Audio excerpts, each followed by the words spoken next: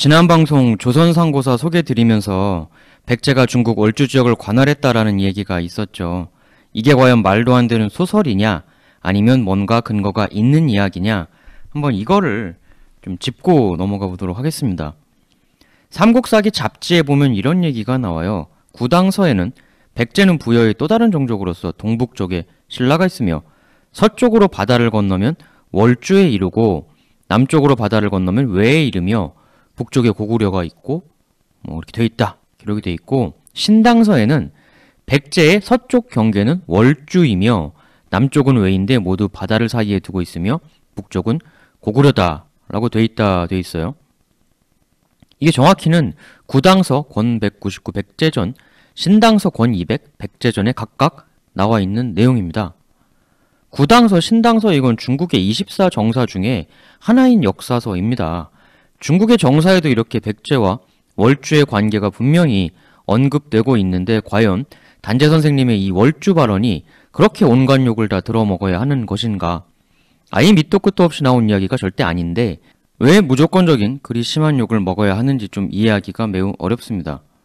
우리가 두 가지 태도가 있어요. 한민족이 수천 년 전에 뭐 세계의 3분의 1을 지배했다라는 식의 좀 지나친 환상적 관점으로 가는 것도 문제고 또 동시에 우리나라 고대 국가들이 해외 진출한 부분에 대해 그 비슷한 이야기만 나와도 마구잡이로 욕하고 말 못하게 억누르고 비방하는 태도도 있습니다. 사실 둘 다 문제인 거죠. 양쪽 다 너무 극단이에요. 백제 본국이 아예 중국 대륙 안에 있었다라는 건 당연히 말이 안 되지만 또 백제가 해상 활동을 여기저기 했었다라는 류의 말만 나와도 마구 욕하고 말 못하게 하려는 것도 좀 어떠한 의도로들 그러시는지 잘 모르겠어요. 지나친 부풀림, 지나친 깎아내림, 양극단을 배제하고 좀 우리가 합리적으로 한번 생각해 볼 필요가 있을 것 같습니다. 얘기 나온 김에 이 테마를 털고 가는 게 좋을 것 같습니다. 그래서 오늘은 백제 해외 활동, 역사적 기록에 근거해서 한번 합리적으로 생각해 보는 시간을 가지도록 하겠습니다. 일단 월주 얘기가 나왔으니까 이것부터 짚고 넘어가 보죠. 구당서, 신당서에 백제의 영역이라고 나와 있고 못하네요. 영역이죠. 영역이라고 나와 있고 단재 선생님도 언급하신 이 월주라는 지역이 어디냐 이렇게 이제 지도에 표시를 해놓았는데요. 삼국지 지명이 익숙하시니까 삼국지로 치면 이 월주 지역은 회계입니다. 그 많이들 좋아하시는 그 엄백호 삼국지 연희에 보면 물론 연희의 내용이지만 그 엄백호 친구 왕랑 있잖아요. 왕랑이 태수로 있던 그 회계죠. 구당서 신당서에 보면 백제라는 나라의 서쪽 경계가 바로 이 회계였다는 겁니다. 게임에서 왕랑이 태수로 있던 지역을 나중에 백제가 먹었다는 거죠. 근데 우리가 상식적으로 생각을 해보면 남의 나라 역사를 굳이 잘 써줄 이유가 없거든요. 그러니까 백제의 후손이 백제의 역사를 쓸 때 썼다면 과장이 있을지 모르나 구당서 신당서가 뭡니까? 중국 역사책이잖아요. 거기서 백제를 뻥카로 더 부풀려서 써줄 이유가 없거든요. 줄이면 줄었지. 그렇지 않습니까? 상식적으로. 백제가 이 중국 강남, 강동 지역하고 상당히 연관이 있었다는 증거는 더 있습니다. 삼국사기 최치원 전에 보면 이렇게 나와 있어요. 삼국사기 내용 중에 어, 읽어드릴게요. 그 뒤에도 최치원은 당에 사신으로 간 일이 있으나 그 시기는 알 수가 없다. 그런 까닭에 그의 문집에는 태사시중에게 올리는 편지가 있는데 다음과 같이 쓰고 있다. 최치원이 썼다는 그 편지 내용입니다. 엎드려 듣건대 동해 밖에 삼국이 있었으니 그 이름이 마한, 변한, 진안입니다. 마한은 고구려요. 변한은 백제요. 진안은 신라입니다. 고구려와 백제의 전성기에는 강한 군사가 100만 명이나 되어 남으로는 5 월을 침범하고 5월을 침범하고 북으로 유연 제노를 뒤흔들어 중국의 커다란 고민거리가 되었으며 수 황제가 세력을 잃은 것도 요동정벌의 말미암은 것입니다. 이 삼국사기 최치원의 편지에서 백제가 5월을 침공했다고 어, 대놓고 이야기가 나와 있어요. 삼국지 오나라가 어디 있었습니까? 5월이 어디예요? 이 강남 강동 아닙니까? 그 삼국사기 최치원의 말에 따르면 백제가 여기를 수시로 침공해서 중국이 여간 골머리 깨나 썩었었다는 겁니다. 최치원이 뭐 없는 얘기를 했을까? 물론 최치원이 진짜로 없는 얘기를 소설로 써서 지어냈다. 이렇게 억지로 보시려는 분도 계세요. 근데 그건 너무 억지스럽습니다. 그러니까 기록에 있는 건 있다고 받아들여야죠. 그러니까 우리가 조심해야 할 건 확대 해석이지. 일단 있는 거는 받아들여야죠. 이렇게 말하시는 분도 계세요. 백제가 뭔 힘이 있어서 거대한 중국에 가서 저 지역을 점거할 수 있었겠냐? 그래서 관점이 크게 두 가지가 있습니다. 단재 선생님처럼 저 지역을 군사적 교두보로 활용했다라는 관점이 있고, 근데 이거는 역시 최치원도 백제가 5월 지역을 침범했다라고 분명히 표현하고 있죠. 이제 이런 관점이 하나가 있고, 또 이제 그건 조금 무리다. 그것보다는 일종의 상업 거점이 아니었겠느냐. 예를 들면 신라방처럼 무역업에 종사하던 백제인들의 집단 거주지, 거주촌 그런 게 아니었겠느냐. 군사적 정복이라기보단 상업적 거점을 만든 것이고 중국 왕조들에서도 상업적 차원에서 그 걸 인정해 준 것이다. 오늘날의 차이나타운, 코리아타운 뭐 이런 거라는 거죠. 월주의 백제타운. 이게 요즘에도 보면 그 외교 대사관 자리 있잖아요. 그게 이제 그래서 우리나라 땅에 있어도 대사관 영제는 우리나라가 내어주고 그 고, 고 지역은 이제 그 나라 땅으로 보통 보지 않습니까? 그래서 이제 망명 같은 거 할 때도 보면 대사관 담 넘어가서 막 하고 그러는데 그것처럼 이제 백제가 힘으로 빼앗았고 강제 점령했다라기보다는 당대 중국 왕조들에서 어차피 무역도 하고 해야 하니까 그냥 그 점유를 용인해줬다. 대사관 자리 내주는 것처럼 그런 개념이었다. 라는 추론도 있어요. 물론 이것도 충분히 생각해 볼 수 있는 추론입니다. 그, 이 두 가지가 그, 각각이 아니고 또 짬뽕일 수도 있습니다. 그 당대 강동 지역 중국 정권하고 그 사이가 좋으면 상업 거점이 되고, 뭐, 누이 좋고 매부 좋고, 사이가 나쁘면 군사적 충돌도 간혹 발생하고, 그런, 어, 짬뽕 혼합체. 뭐 이 둘 중에, 뭐, 이 셋 중에 뭐가 맞든지 간에 백제가 이 월주 지역에 가서 활동을 했다는 것 자체는 뭐 아니 나와 있잖아요. 그러니까 부인하기가 어려워요. 그러니까 기본적으로는 상업 활동이 주가 되었을 것 같아요. 하지만 최치원의 발언에 따르면 가끔은 군사적 활동도 있었던 것 같고 그 군사적 활동이라는 게 이제 뭐 강남 대정벌 프로젝트 뭐 이런 거창한 것이라기보다는 또 다른 성격의 것도 있을 수가 있죠. 그러니까 일종의 이제 치고 빠지기, 그러니까 히텐드런 마치 왜구가 신라 고려한테 그랬던 것과 비슷한 그런 개념의 이제 일시적 약탈형 침공 그런 것도 있었을 수는 있어요. 그러니까 이게 백제가 뭔 힘이 있어서 중국 영토를 정복하고 했겠느냐라고 이제 그 비판을 하시는 분도 있는데, 그러니까 그걸 이제 항구적 정복의 개념이라기보단 일시적인 히트앤드런 개념으로 보면 뭐 왜구가 뭐 신라 고려보다 엄청 강해서 그렇게 계속 찝쩍거린 건 아니었잖아요. 그러니까 침공에도 여러 가지 종류가 있는 거죠. 그 목적에 따라서 아예 땅을 점유하기 위한 정복형 침공, 물자만 털고 빠지는 약탈형 침공, 사람 잡아오는 납치형 침공. 다양하죠, 침공이라는 게. 나중에 보면 왜구들도 중국 해안 지역 와서 털고 그러잖아요. 근데 훨씬 더 가깝고 왜구들보다 더 잘 나갔던 백제가 뭐 왜구만도 못했겠느냐. 그러니까 긍정적 형태로는 상업 교류, 상업 거점 확보, 백제인들의 대규모 거주 타운, 백제 타운 이 정도까지는 분명히 그리고 당연히 있었을 것이고 뭐 장사해야 되잖아요. 그리고 군대라는 거를 그 당시 때 군대를 요즘 우리 군대하고 같은 개념으로 보면 안 되거든요. 당대는 국가가 기본적으로 각 지역 토호들의 연합체였고 토호들이 자기 사병을 거느리던 구조였단 말이죠. 나중의 그 나중에 일본 왜구도 토인 나이미어들의 사병들이 사략 집단이 되어서 조직적으로 털고 다닌 거 아닙니까? 이전에 제가 왕과 신하의 경쟁 구도 말씀드리면서 신하라는 게 과거 시험도 없던 오래전에는 결국 각 지역의 경제 기반을 장악한 토호들이었다. 근데 경제 기반이라는 게 기본적으로 농사 지을 수 있는 땅이지만 한중일 바다를 끼고 있는 이 해안가 지방 같은 경우는 해상무역이라는 경제적 플랫폼을 장악하고 있는 해상호족들도 당연히 있었던 것이죠. 당시에 무슨 뭐 해경이 있었던 것도 아니고 무역선들이 기본적으로 해적들의 위험에 노출되어 있었기 때문에 늘 무장을 하고 다녔을 거고 무장을 하고 있으니까 일단 무역하다가 사업이라는 게 하다 보면 적자도 나고 뭐 물건을 빠뜨리거나 상해서 손실도 보고 그럴 거 아니에요. 이때 당시에 그 무서운 해상 호족 왕초들이 그거 그냥 용인했겠습니까? 담당자 사형 뭐 이런 식으로 하면 그 뭐 담당 선장은 손실나면 저그 왕초한테 큰일 나니까 에라 모르겠다.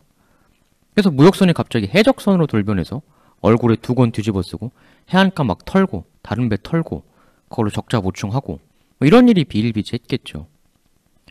근데 이게 옛날 외구들도 그랬지만 털다 보면 이게 이제 맞들리거든요. 이 장사보다는 이익률이 월등하지 않습니까? 약탈은. 그래서 이제 최치원이 말한 백제의 5월 침범도 이런 형태의 그 물자 침탈형 산발적 침공들을 이야기하는 것이 아니었겠느냐. 뭐 이렇게 어, 볼 수도 있죠. 뭐 정복의 개념이라기보다는 그러니까 우리가 외구들한테 당했다고만 생각하는 게 이전 시간에도 소개드렸다시피 그 신라도 신라구라는 해적이 있었고 대마도를 쑥대밭 만들기도 하고 그랬거든요. 그래서 일본에서 신라인들 출입 금지시키기도 하고 뭐 당연한 얘기지만 백제 신라라고 뭐 성인 군자들만 살았겠습니까?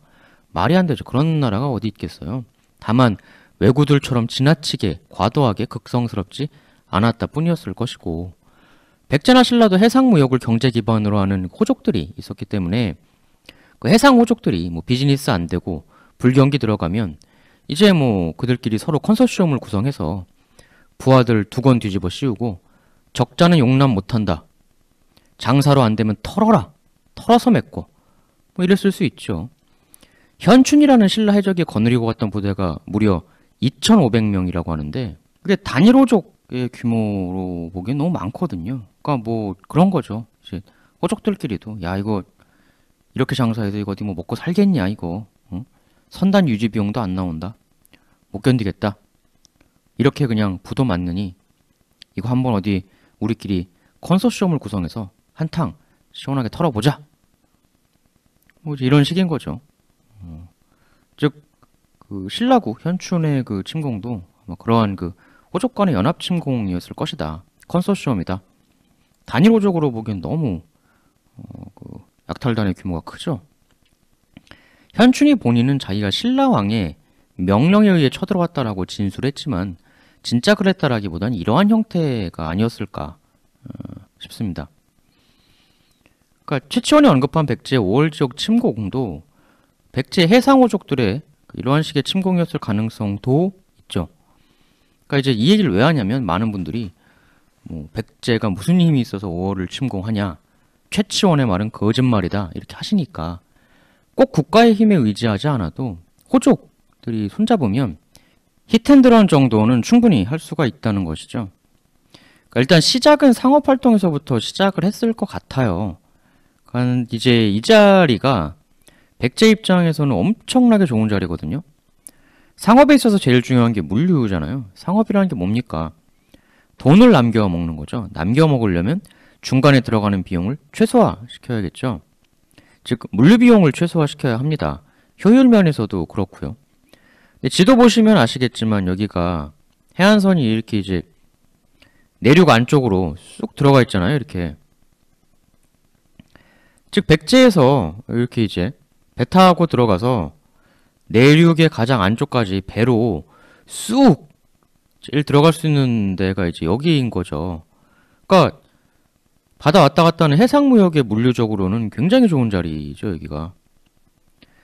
그러니까 이쪽에서 이렇게 깊숙이 어, 들어가기 좋은 지리적 입점 때문에 백제 상단들이 여기에 이제 계속 뻔질나게 드나들고 그러다 보면 어떻게 됩니까? 해상무역 도시니까 뭐 여관 들어서고 식당 생기고 백제 식당 당연히 생기겠죠. 왓살이 백제에서 백제인이 그냥 여기로 건너와서 그냥 눌러 앉고 여기서 그냥 자기 식당 차리고 뭐 여인숙 차리고 뭐 좀 잘 되면 이제 프랜차이즈도 하고 마치 그 우리가 이제 미국에 코리아타운 가면 떡볶이집 있고 감자탕집 있고 다 있지 않습니까? 마찬가지 식인 거죠. 실제로 이 지역 지금까지 먹는 그 토속 음식 중에 우리나라 김치 비슷한 음식이 있다고 해요. 당연한 얘기지만 오늘날과 같은 빨간 김치는 조선시대에 고추가 들어오고 이후에 생긴 거고 원시적 형태의 김치는 기본적으로 그 백김치 같은 스타일이었잖아요. 이 지역 토속 음식 중에 이제 백김치 비슷한 음식이 있다고 해요.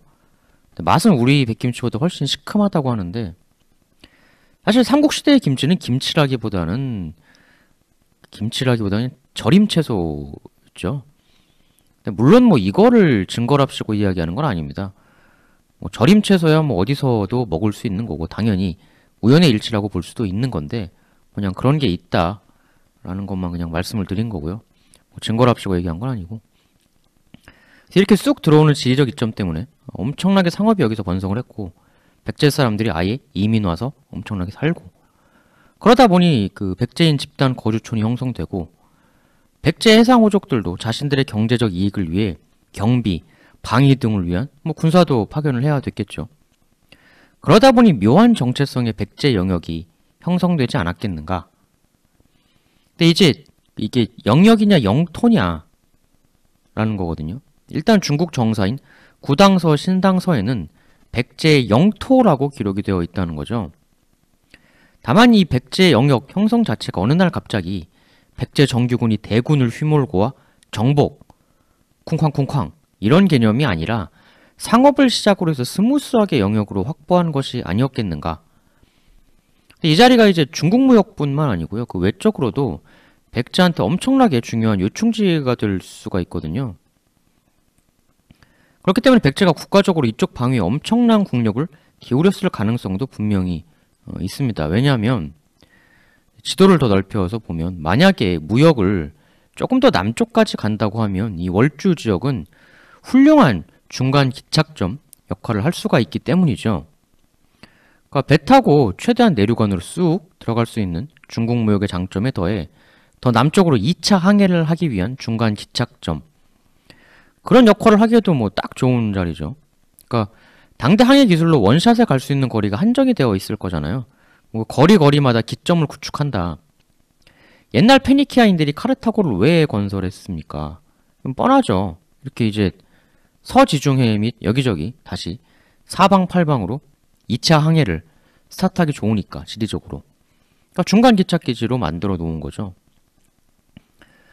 월주는 백제 해상 무역의 최요충지 중에 하나였을 가능성이 있고 그래서 구당서 신당서의 언급대로 그저 여타 다른 집단 거주지 차원이 아닌 백제가 국가적으로 관리했던 최중요 요충지였을 가능성도 있는 거죠. 그러니까 백제에서 저 남방으로 한 방에 스트레이트로 가긴 힘들 거잖아요. 여러분들 다 아시는 유명한 백제 22담로 이것 역시 월주처럼 그리고 초창기 카르타고처럼 백제의 중간 기착도시였을 가능성이 있죠. 그 담로의 위치에 대해서 워낙 말이 많은데 위치도 위치지만 그 성격을 우리가 좀 합리적으로 생각해 볼 필요가 있을 것 같아요. 그 담로가 여기저기 있고 뭐 동남아시아까지도 뻗쳐 있었다 라는 주장이 있고 또 그 주장을 극렬하게 욕하는 부정하는 관점도 있고 하는데요. 이야기하면 또 무작정 욕부터 맹렬하게 하실 분 계실 텐데 이게 탁설 중에 이런 게 있어요. 그 여러분들 잘 아시는 그 흑치상지 있잖아요. 그 백제 최후의 배신자니 아니냐 뭐 논란이 많은 그 인물. 그 흑치상지란 이름의 흑치가 지역을 의미하는 거거든요. 흑치상지 묘지석이 있는데 이게 1992년에 발견이 됐어요. 당연히 중국에서 발견이 됐는데 그 묘비석에 이제 봉어 흑치라는 글자가 있습니다. 즉 흑치에 봉했다. 흑치라는 지역에 봉했다. 분봉받았다. 흑치 지역을 그런 의미거든요. 흑치가 어디냐? 핵심은 흑치라는 단어의 뜻을 정확하게 파악하는 데 있겠죠. 크가지 몇 가지 설이 있는데요. 첫째로는 일단 그 충남 예산 덕산면으로 보는 설이 하나가 있습니다. 그 이유는 이렇습니다. 흑치라는 뜻을 이렇게 푼 거예요. 흑치 이꼴 금물이다. 예전에 이제 덕산면에 근물현이 있었기 때문에 흑치상제 분봉 지역이 여기다라는 건데요. 이건 이제 훈차와 음차의 차이로 이런 표기가 나왔다는 겁니다. 어, 흑치가 금물. 흑이라는 게 이제 우리말로 검다잖아요. 그 뜻이. 그 이제 검다, 그 금다, 검, 금. 그 요건 이제 뜻인 거고, 요건 이제 음인 거죠. 그래서 이제 흑하고 금이 같다. 검다는 뜻, 금다, 검다, 발음. 그 다음에 이제 치하고 물은 뭐냐. 그 이제 치라는 게 이제 그 이빨 아닙니까? 이 뜻이 이빨. 근데 이제 그 이빨이라는 게 이제 우리가 니 그러잖아요. 금니. 이렇게 어금니. 근데 이제 그이 니가 이제 그 당시 이제 내라는 발음이 되고 내라는 게 이제 뭡니까? 내가 물이란 얘기죠. 그래서 이제 그 흑치의 치가 니, 내 그래서 이제 그 물이 된다. water가 된다. 그래서 이제 흑치라는 건 이제 검은 이빨이 아니라 검은 내, 물, water. 그래서 금무련이 있던 지금의 충남 덕산면이다. 이거거든요.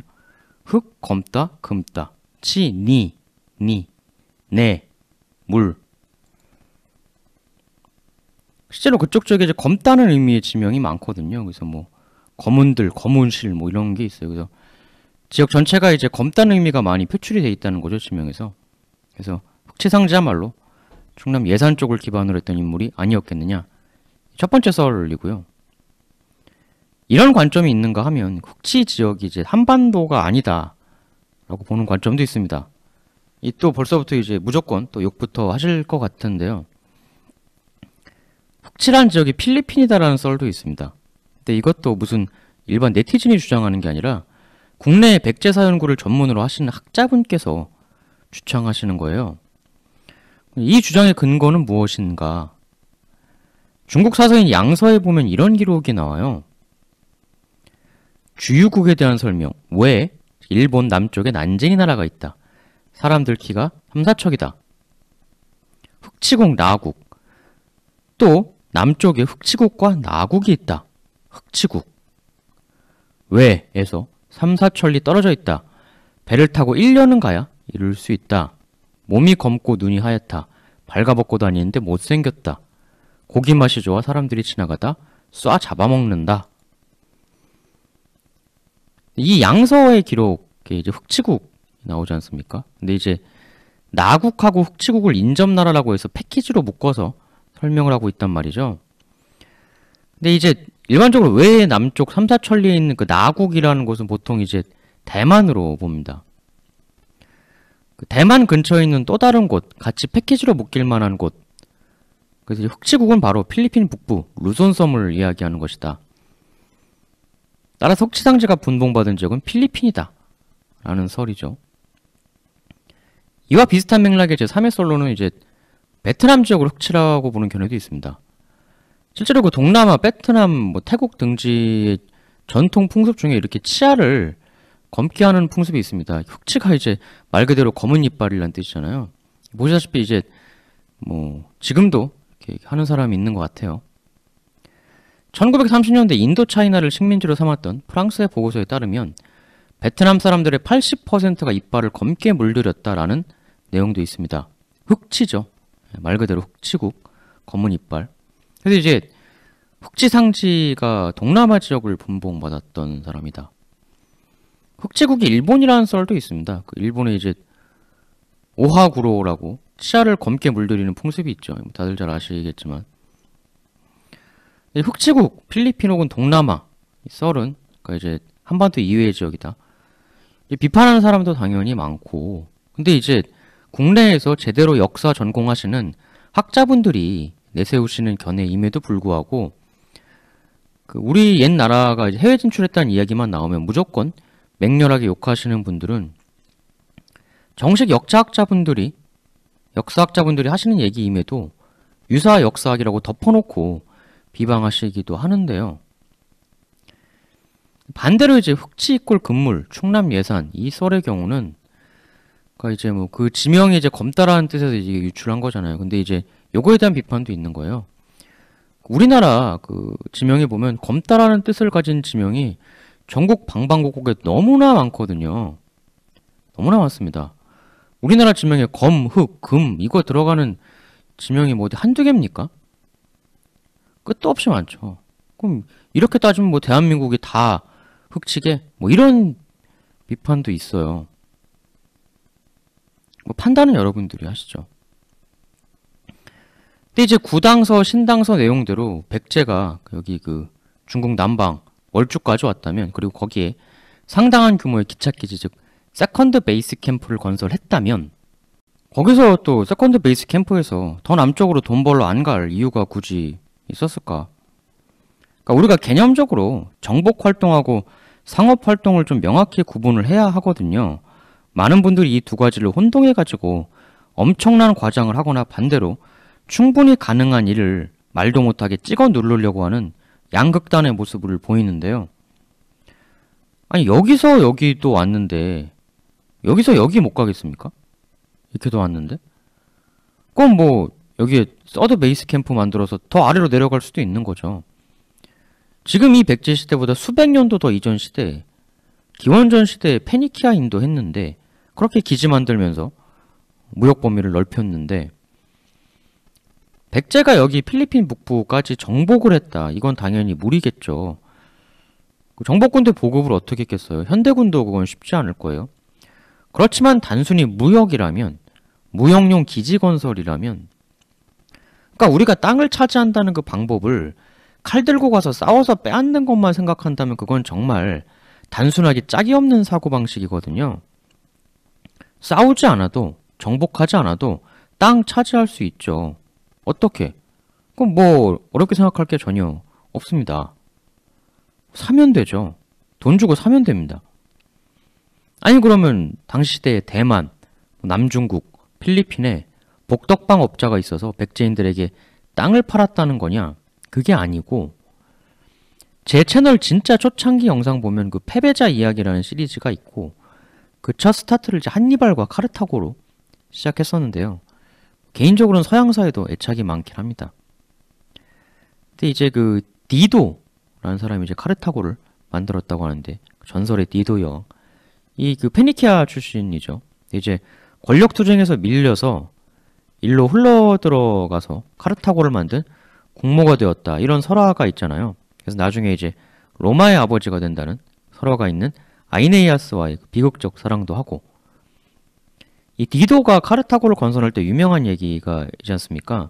다들 아시겠지만 이쪽 가서 이제 그 이쪽 지역 터줏대감한테 도시를 건설하겠으니 땅 좀 주시오 이랬는데 그쪽 터줏대감이 이제 소가죽 하나 던져주고 요걸로 덮을 수 있을 만큼만 주겠다 이렇게 이죽거렸다는 거죠.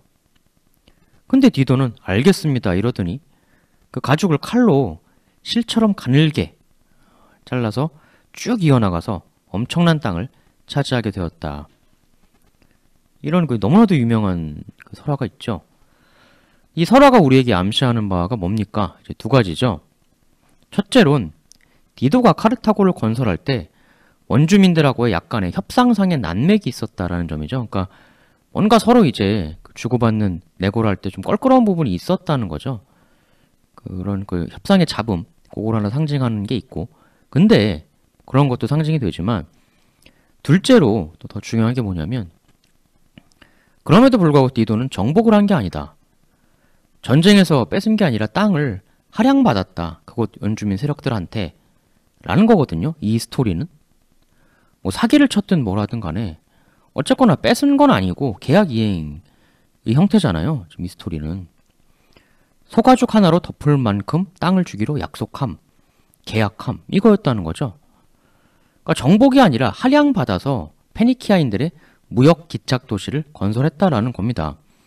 이 얘기는 당연히 공짜 할양이 아니라 대가를 지불하고 땅을 산 셈인 거죠.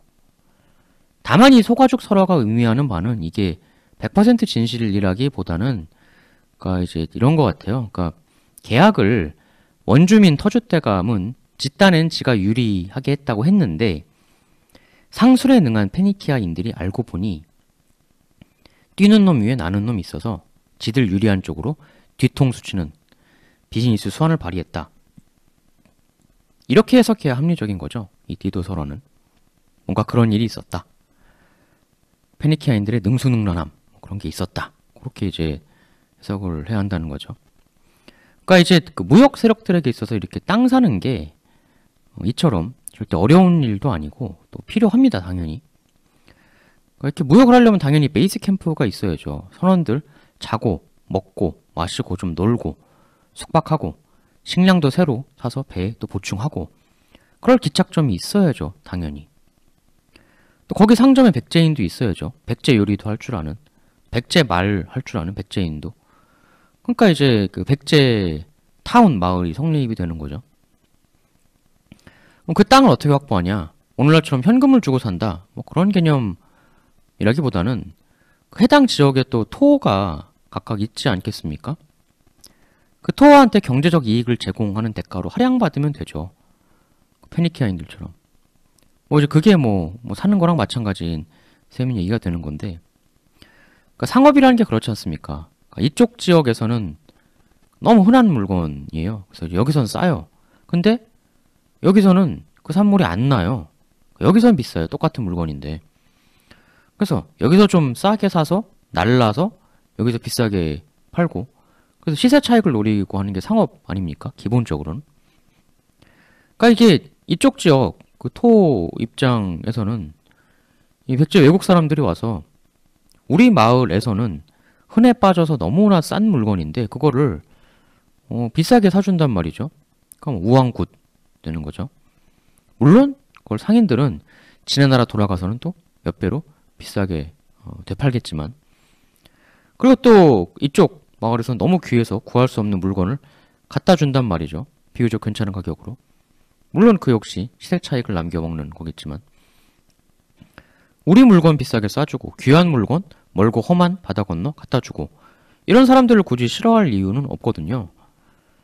그러니까 해당 지역에 이렇게 경제적 이익을 제공하는데 기차기지 건설할 영역 조금 떼주는 게 뭐가 대수겠습니까?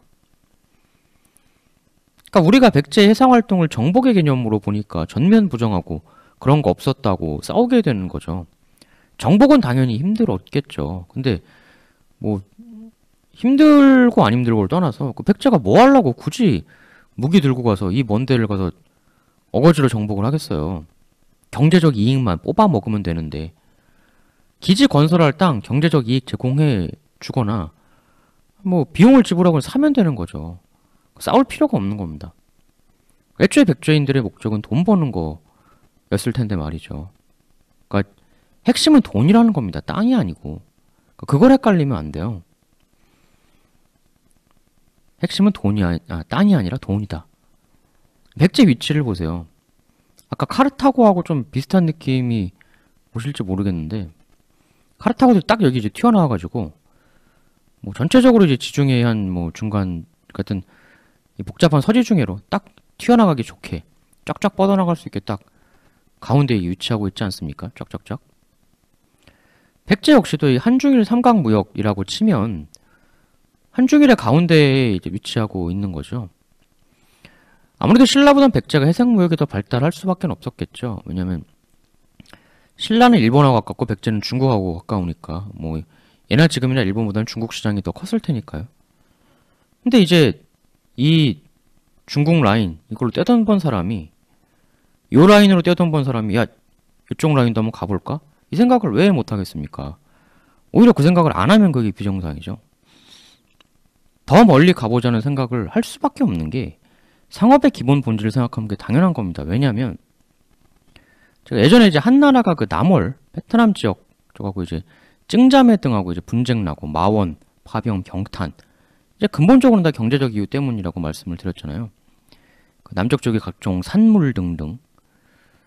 그러니까 이제 백제도 뭐 처음에는 이 정도 선에서만 이제 왔다 갔다 했을 수 있죠. 근데 이제 이 지역에도 더 남쪽에서 진귀한 살문들이 올라왔을 거란 말이죠. 뭐 육로로든 뭐든. 백제인들이 보니까 아 이거 물건이 너무 좋은 거예요. 근데 여기서 이제 그 내륙 상인들한테 돈 주고 사니까 너무 비싸. 그럼 어떻게 생각하겠습니까? 어, 배 있겠다. 내가 상인인데 내가 왜, 왜 이렇게 덤태기를 주고 사야 되냐? 내가 직접 가서 구해오겠다. 당연히 이렇게 생각을 할 수가 있죠. 바로 그 돈의 힘, 그것 때문에 고대 국가들이 그렇게 무역 범위가 착착착 차근차근 계속 넓어져 나갔던 겁니다. 아니 뭐 저 멀리서 나는 거를 왜 내가 여기서 비싸게 사? 내가 가서 그냥 사와서 내가 마진 붙여서 팔면 되지. 그러니까 백제 해상 활동을 이렇게 군사적인 게 아니라 상업적으로 바라보면 이상할 것도 없고 불가능할 것도 없고 무리일 이유도 없습니다. 오히려 없었다고 억지로 부인하는 거 그게 더 이상한 것이죠. 다만 이제 그 요소 경락설 이건 이제 이 그 남쪽 얘기하고는 조금 더 결이 달라요. 군사적 충돌을 명시하는 기록들이 워낙 많고 논란이 훨씬 더 많기 때문에 그 요소 경 락설 거기 뭐 군사적 충돌 이런 얘기는 그 의자왕 시리즈를 좀 마무리하고 다음에 진행하도록 하겠습니다. 이게 기록도 많고 좀 내용이 또 워낙 복잡하기 때문에 이게 굉장히 길어지거든요, 그것도. 제가 이 얘기를 좀 굳이 하는 이유가 이제 조선상고사에 대한 그 지나친 비하, 물론 뭐 그 조선상고사에 대해서 근거 없는 이야기들 뿐이다 이렇게 비판하시는 의견도 있고 그런 의견도 하나의 의견으로서 저희가 또 존중을 해야 된다고 생각을 합니다. 뭐 그렇게 생각하실 수 있죠. 뭐 판단은 각자 자유의 몫인 거고 물론 단재 선생님이라고 신도 아니고 틀리신 부분이 있을 수 있고 또 실제로 틀린 부분도 있기도 합니다. 근데 그 고대 역사를 다루는 역사에서 틀린 부분 하나도 없이 자신의 관점 들어가는 거 하나도 없이 마치 신처럼 절대적으로 옳고 절대적으로 중립적이고 절대적으로 객관적인 그런 게 과연 어디에 있습니까? 희한하게도 사기를 지은 사마천이나 자치통검의 사마광 이런 사람들에 대해서는 아주 언터쳐버리는 경우가 많아요. 절대 비판 안 하죠. 사마천 사마광은 틀린 게 없느냐? 그 사람들은 신과 같이 완벽히 객관적인 기술만 했느냐? 사료의 선택을 정말 자기 주관 없이 객관적으로만 골랐느냐? 그렇지 않거든요. 다른 나라 사람이 사마천은 비판 안 하면서 단재 선생님은 극렬하게 비판을 당하시죠. 다른 나라 사람이 사마천은 아 위대한 역사의 아버지 절대적 존재 이러면서 같은 나라 사람인 신조 선생님은 조금의 오류만 있어도 비하하고 왜 그렇죠? 왜 외국인이 쓴 건 무조건 권위 있고 한국인이 쓴 거면 무조건 격이 떨어지고 그런 식의 인식이 생기는지 모르겠습니다. 그러니까 단재 선생님 생각은 그거셨던 것 같아요. 그러니까 우리 역사를 우리 손으로 한번 써보자. 왜냐하면 그 이전엔 우리 역사를 우리 손으로 못 쓰고 다른 나라 사람들이 쓴 걸 가져와야 했잖아요. 우리 역사인데 부조리하죠. 근데 이제 역사에 뭐 이제 또 다른 비판이 이제 너무 자기 관점이 많이 들어갔다 이런 얘기를 좀 하잖아요. 근데 과연 역사에 자기 관점이 들어가면 무조건 나쁜 것인가? 그럼 사마천 사기에는 사마천 관점이 없느냐? 말이 안 되는 얘기죠. 사마천도 자기 주관에 의해 비판, 칭찬 엄청 많이 했습니다. 우리가 역사를 시험 문제 맞추는 공부만 해서 좀 오해하는 경우가 많은데 그 관점이 없는 역사는 역사가 아닙니다. 오히려 역사는 관점이 있어야 해요. 관점이 있으면 무조건 진실로부터 멀어지고 허구의 판타지가 되느냐? 무조건 그런 건 아닙니다. 뭐 그런 경우가 있을 수도 있지만 그건 사실 굉장히 잘못된 고정관념이에요. 오히려 관점이 있음으로써 진실에 더 한 발짝 다가갈 수도 있습니다. 반대 경우도 있을 수 있지만 역사라는 게 무슨 뭐 종교나 자연과학이 아니거든요. 역사는 사람이 사람의 일을 쓰는 겁니다. 인간이 관점이 없으면 그게 동물이지 인간입니까? 저건 착한 짓이다. 저건 나쁜 짓이다. 이 관점이 없는 사람이 어떻게 사람이에요? 관점은 진실을 막는 장애물이 아니고요. 오히려 진실을 드러내주는 도구일 수도 있습니다. 그러니까 예를 들어서 그냥 기록만 덩그러니 남겼어요. 대한제국과 일본이 합방조약을 체결했다. 끝. 이렇게만 딸랑 기술하고 아무 코멘트도 달지 않아야 그게 그러면 올바른 역사를 대하는 관점입니까? 말이 안 되잖아요. 그러니까 관점이 없는 역사 기술이라는 게 얼마나 무의미한지 이제 감이 오실지 모르겠습니다. 단재 선생님도 분명히 틀리신 부분이 있으세요. 그렇지만 단재 선생님께서 어떠한 태도와 자세로 저술을 하셨는지를 좀 소개드려 보죠. 한 번 이제 기고하시는 글에 대해서 거기 편집자가 내용도 아니고요. 약간 어조사만 아주 조금 수정한 적이 있었습니다. 그걸 보시고는 바로 아, 현재 때려치울래? 안 해. 이렇게 하시고 바로 그만두셨어요. 단재 선생님께서 굉장히 경제적으로 힘드셨었거든요. 그럼에도 불구하고 어떻게 보면 거기가 자신에게 돈을 주는 곳임에도 어, 그렇게 하셨고 그래서 그쪽 사장이 이제 단재 선생님을 찾아가요. 그리고 이제 사과를 하고 다시 글을 좀 써달라고 통사정을 하는데 그 사장을 이런지하에 쫓아내 버리십니다. 뭐돈 많은 작자가 어딜 글을 고치고 뭐 거의 그런 식의 태도셨죠. 어조사 하나에도 그렇게 비분 강개하셨던 분이고 글 하나하나에 그야말로 혼신의 힘을 기울이셨던 분입니다. 뭐 인간이 이상 신이 아니고 오류가 있을 수 있죠. 그리고 워낙에 경제적으로 힘드셨기 때문에 연구 여건이 원체 안 좋으셨거든요. 요즘으로 치면 방송에 나가는 그 방송인데 PD가 그 자기 말을 좀 편집했다 이거예요. 아니 내 말을 왜 편집해? 나 안 나가. 이런 거거든요. 근데 오늘날 방송인 중에 그런 사람이 있습니까? 없죠. 당시보다 훨씬 풍족하게 사는 오늘날 우리들도 이렇게 할 수 있는 사람은 없거든요. 본인 글에 얼마나 혼신의 힘을 기울이고 자부심이 있으셨는가라는 걸 알 수가 있죠. 워낙 힘드셨어가지고 그 중국 서점 헌책방 이런 데 가셔서 이제 책을 못 사시니까 선체로 다 읽으시고 그걸 머릿속에 암기로 담아가셔서 집에 가서 젖을 하시고 놀라운 건 근데 이제 이런 예도 있어요. 그 원래 그 책에 있던 서점에서 그 굉장히 귀한 서적 하나가 불타버리거든요. 근데 단지 선생님께서 그 책을 거의 토시 하나 안 틀리고 오직 읽으셨던 기억의 힘만으로 거의 그대로 내용을 다시 어, 복원을 하신 그 일화도 있습니다. 대단한 거죠. 그 완벽주의도 심하셔서 자신이 직접 쓰신 글에 마음에 안 드신다고 불사르신 것도 굉장히 많으십니다. 그래서 굉장히 아까운 일이죠. 그 지인에게 보내는 이런 편지도 있습니다.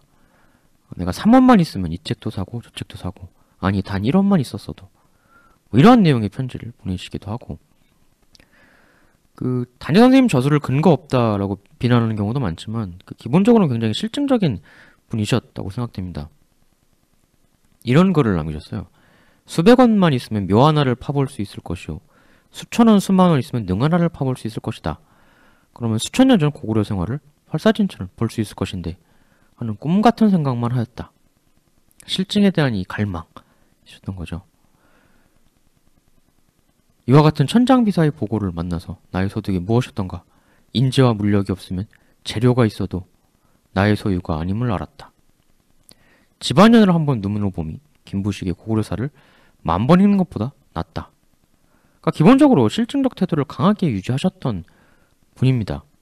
조선상고사 내용이 근거 없다고 비난받다가 나중에 근거가 나타난 경우도 있죠.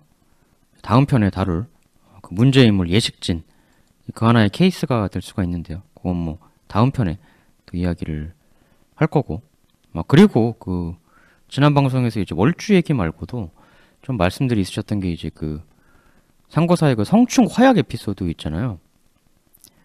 조선 상고사에 보면 그 예족 장수가 성충에게 그 버리든 괴짝을 태우는 걸 보고 다음에 염추와 화약을 넣어서 또 골탕 먹이려고 하는 장면이 나오죠.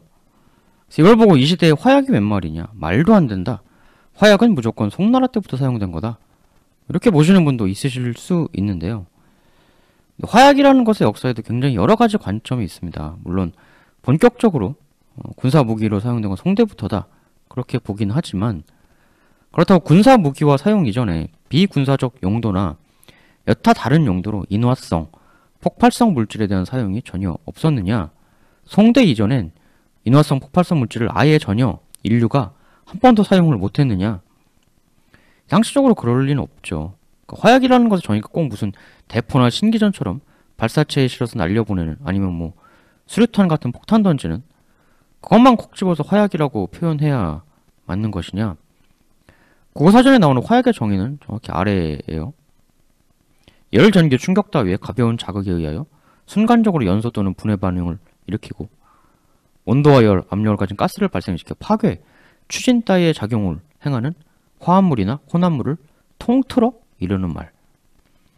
그러니까 인화성, 폭발성, 혼합체 물질이면 그게 군사적이 아닌 다른 방향으로 사용되었어도 화약이라고 부르는데 무리는 없다는 거죠. 그럼 10세기 전엔 이런 강한 인화성 물질의 사용이 전혀 없었단 말이냐? 그럴 리 없죠. 그 인화성 폭발성 물질 사용 그 기원은 여러 가지 썰이 있지만 올라가려고 하면 정말로 굉장히 오래까지 올라가는 설도 있습니다. 일단 가깝게만 봐도 이미 수나라 때 폭죽을 사용했다라는 기록이 있어요. 그러니까 수나라면 지금 우리가 다루는 백제 멸망 기 때보다도 앞선 거죠. 왜냐면 백제가 당한테 망했잖아요. 당연한 얘기지만. 즉 지금 다루는 성충 시기 이전에 이미 폭죽이 사용되었었다는 겁니다. 수나라 때 형초 세식에 따르면 귀신, 애군을 쫓기 위해 대나무통을 활용한 큰 폭발음이 나는 원시적 형태의 폭죽을 사용했다라고 분명히 나오고요. 흔히 이제 중국에서 화약을 본격적으로 기록에 남긴 사람이 이제 손사막이라고 보는 관점이 있는데 이 사람 역시 그 수나라와 당나라 때 걸쳐 살았던 사람이에요. 이 손사막이라는 사람의 생물 연대가 그몇 가지 썰이 있는데 뭐 541년생, 581년생 다양하게 있습니다. 근데 뭐 어떤 경우든 백제 멸망인 660년보다는 훨씬 앞서죠. 이 손사막 같은 경우는 별명이 야광이에요. 약학, 의학 이런 쪽에 아주 지대한 영향을 끼친 사람인데 단경이란 책에서 강력한 인화성, 폭발성 성질을 지닌 물질에 대한 기록을 남겼어요. 그 초석과 황의 혼합물이 강렬하게 연소한다는 걸 알고 거기에 목탄을 부과한 흑색 화양을 발명해냈다. 그래서 손사막이 근대적 화약의 시초다. 이렇게 보는 관점이 있는 거죠. 근데 이것보다 더 이전까지 올라가는 관점도 있습니다. 2세기 심지어는 기원전까지 올라가는 관점도 있어요. 기본적으로 도교에서 이제 불로불사의 약을 만들려는 노력이 있었고 그 와중에 여러 가지 물질들을 혼합하고 불에 넣어서 끓이고 하면서 강력한 인화성, 폭발성 그 조합을 발견해냈고 거기서부터 이제 우리가 지금 하는 화약이 이제 출발을 하게 되었다. 2세기, 3세기 이런 때도 그 인화성 물질에 대한 기록이 있습니다. 원시적 형태의 인화성, 폭발성 혼합물은 7세기 이전에도 이미 사용되고 있었다라고 보고 조선상고사의 이 내용을 보면 이게 무슨 뭐 성충한테 수류탄을 던졌다, 발타스테이스로 쐈다 뭐 그런 내용이 아니잖아요. 그냥 상자에다가 인화성 물질을 넣어 보냈다라는 거 아닙니까? 뭐 상대가 버린 줄 알고 또 그 상자를 불태우면 이렇게 더 불타도록 한 거니까. 그러니까 뭐 그냥 단지 인화성 물질을 박스에 담아 보낸 건데 그 정도의 활약이라면 이미 그 이전 시대부터도 있었다는 거죠. 뭐그 이전에 폭죽도 기록에 있는데 말입니다. 진짜 오래 가는 거는 기원전에 그 만리장성에서 신호용으로 아주 원시적 형태의 화약이 사용되었다 뭐 그런 얘기조차도 있습니다. 그러니까 조선상고다에 대해서 무조건적인 폄하적 시선, 고정관념 그런 게 좀 있는 것 같아요. 그러니까 조선상고사라고 다 맞는 건 아니지만 100%다 뻥이다라고 접근하는 거 역시 좀 너무 극단적인 것 같습니다. 설마 단재 선생님께서 화약의 계략적 역사 이런 것도 모르시고 그냥 쓰셨을 리가 있을까? 전 그럴 린 없다고 봅니다. 판단은 여러분들께서 해주시면 될 것 같고요. 제가 어떤 걸 소개해드릴 때 이제 그 소개해드렸다 이꼴 그게 정답이다 그런 얘기는 아니거든요. 근데 소개해드림 이꼴 제가 정답이라고 주장 이렇게 좀 오해하시는 분들이 계신 것 같아요. 무조건 한치의 오차도 없는 100% 정답이 아니면 아예 입에 담지도 마. 그걸 원하시면 그냥 수험, 시험 강의 영상 보시면 될 것 같습니다. 우리나라 분들이 다 그런 건 당연히 아니지만 일부 분들 중에 정답을 반드시 빠르게 오직 단 하나로만 확정해야 된다. 이런 관념을 가지신 분들이 좀 많거든요. 마치 시험 볼 때 하나의 딱 정해진 답을 반드시 써내야 하는 그런 것처럼 시험이라는 게 그렇잖아요. 그 시간이 굉장히 촉박하고 국어, 영어 시험 볼 때 지문 빨리 읽고 빨리빨리 정답 하나 딱 정해서 찍고 빨리빨리 다음 문제 풀고 그렇게 해야 되는 게 시험이잖아요. 그러니까 그게 습관이 돼가지고 그 인생은 시험 문제 풀이가 아닌데 인생의 모든 다른 영역까지 빨리빨리 정답 하나로 딱 정해. 뭐야 이거야? 너도 이거지? 아니야? 너 틀렸어. 이렇게 되는 습관이 많은 한국인들한테 좀 아로 새겨져 있는 것 같아요. 정답 아니면 틀린 거고 틀린 건 나쁜 거다. 정답 아니야? 너 아웃. 단위라든 획일화된 하나의 정답을 빠르게 구정지어야 한다는 그 습성. 그 근데 제 방송은 전혀 그런 게 아닙니다. 정답을 찾고자 하는 방송이 아니고 저는 그냥 이제 이런저런 가능성을 타진하면서 그동안 시험 문제 정답 찾는 그런 방식에 탈피해서 상상하는 즐거움을 찾아보자. 답을 찾는 사유가 아니라 순수하게 사유 자체를 위한 사유. 사유의 즐거움. 그게 제 목적이거든요. 근데 사람들이 이제 그 아니 그럼 정답 못 찾을 거 생각을 왜 해? 생각은 정답을 맞추기 위해서 하는 거 아닌가? 이렇게 생각을 하시는데 그러니까 이제 우리 공부의 목적이 정해진 정답을 맞추는 거라고 생각하잖아요. 그래서 공부를 한다. 정답을 맞추기 위해서. 근데 공부에 대한 근본적인 오해죠. 공부는 절대 정답을 맞추려고 하는 게 아닙니다. 그럼 공부가 아니라 오히려 반공부입니다. 공부에 반하는 거죠. 정답을 찾으려고 하는 건. 그래서 어떤 문제가 있어요. 거기 이제 모범 정답이 A라고 해보죠. 그럼 이제 이 A를 정확하게 어, 쓰는 거, 맞추는 게 우린 공부의 목적이라고 생각을 하죠. 근데 이제 그게 공부가 아니라 이 정답 A 모범 답안을 맞추는 게 아니고 그러니까 이제 그 뉴턴의 물리학 이론이 있단 말이에요. 뭐 예를 들면 물리학은 잘 모르지만 기존 체계에서 이제 뉴턴 이론이 정답이었잖아요. 근데 아인슈타인의 상대성 이론이 나와서 뉴턴 이론과는 다른 형태의 길을 열었죠. 그래서 그게 공부죠. 그러니까 기존에 있는 정답 A를 모음 답안을 찾아내서 맞추는 게 궁극의 목적이 아니라 기존 정답 A 모범 답안을 더 뛰어넘는, 더 고차원의 또 다른 새로운 정답. 그걸 만들어내는 게 사실 공부거든요. 그 모범 답안을 맞추는 게 아니라 모범 답안을 뛰어넘는 무언가를 만드는 거. 그게 진정한 사실은 공부의 목적이죠. 뭐 물론 기존 모범 답안을 좀 제대로 알아야 그 다음으로 나갈 수 있지 않냐 뭐 이렇게 말씀하실 수도 있고 그거는 당연한 건데 그러니까 이제 이것도 뭐 중요하죠 중요한데 다만 이제 그 기존 정답 모범 답안은 더 나은 정답 S로 가기 위한 발판이거든요. 그러니까 이건 도구예요 도구 일로 가기 위한. 근데 이제 우리는 이 모범 답안 A 요 발판인데 요거 자체를 목적으로 생각하고 종교적으로 숭배하고 있다는 거죠. 한국에서 괜히 노벨 과학상이 안 나오겠습니까? 예. 그 기존 모범 답안만 앵무새처럼 잘 찾아낸다고 주는 상이 아니니까 그 상을 못 받는 거죠, 한국인들이. 그 많은 한국 사람들은 어린 학생들이 기존 모범 답안에서 벗어나서 다른 데로 튀려고 하는 꼴을 못 봐요. 그리고 그걸 욕합니다. 사실 이건 한국 교육의 문제라기보다는 사회의 문제 같아요. 교육은 사회의 하위 변수에 불과하기 때문에. 그러니까 우리가 보통 이제 한국은 교육이 문제야, 한국 교육이 문제야 표현하는데 그건 적절한 표현은 아니라고 봅니다. 그건 말하자면 이제 어떤 회사를 욕할 때 사장, CEO 냅두고 대리 욕하는 거랑 마찬가지인 거거든요. 대리가 문제입니까? 사장이 시켜서 하는 거지. 교육이 문제예요. 사회가 그런 교육을 양태를 만드는 거죠. 사회가 바뀌지 않는 한 교육제도 억만 번을 바꿔도 달라지는 건 없는데 지금 한국은 엄한 짓거리, 교육제도 붙들고 이상한 짓만 하고 있는 거죠. 모든 한국 사회 구성원이 자식 명문대 스카이 보내려고 눈에 쌍심지를 켜고 있는데 입시에도 맨날 바꾼다 한들 또 거기에 맞춘 입시 컨설팅이 새롭게 등장해서 새로운 형태의 돈 난리를 부추길 뿐이죠. 당연한 거 아닙니까? 그러니까 제도가 자주 바뀌면 바뀔수록 돈 난리는 더 커질 수밖에 없습니다. 왜냐하면 새롭게 바뀌면 사람들이 배우기가 힘들거든요. 아무리 어려운 제도라도 한 20년 지속되면 웬만하면 사람들이 다 알아요. 자주 바뀌면 사람들이 파악하기가 되게 힘들거든요. 먹고 살기도 힘든데 바쁜데. 그러니까 자주 바뀌면 바뀔수록 사교육 업자들한테 더더욱 의지할 수밖에 없게 되는 거죠. 아니 뭐 또 바뀌었어? 그러면 아유 어머니 그것도 모르셨어요. 16년하고 17년은 하늘과 땅 차인데 그것도 모르시고 어떻게 애 대학 보내려고 하세요? 뭐 이렇게 이제 뻔뿌질을 하면은 불안해서 돈을 갖다 바칠 수밖에 없죠.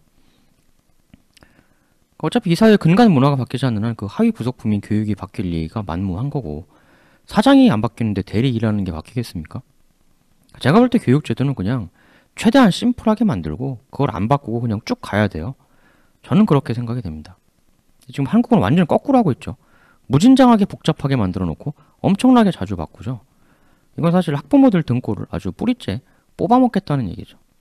다음 시간에는 요청 주신 테마죠. 요서경 낙설 어, 드디어 다루고 또 오늘 말씀드린 내용하고는 또 다른 식의 관점과 접근이 또 있습니다. 그래서 요서경 낙설 다음 시간에 다루는 또 그 이후에 어, 마지막으로는 또 백제와 의제왕의 이상한 최후 그리고 요청 주셨던 예식진 이야기 하고 어, 백제 시리즈는 종결로 어, 그렇게 가도록 하겠습니다. 대단히 감사합니다.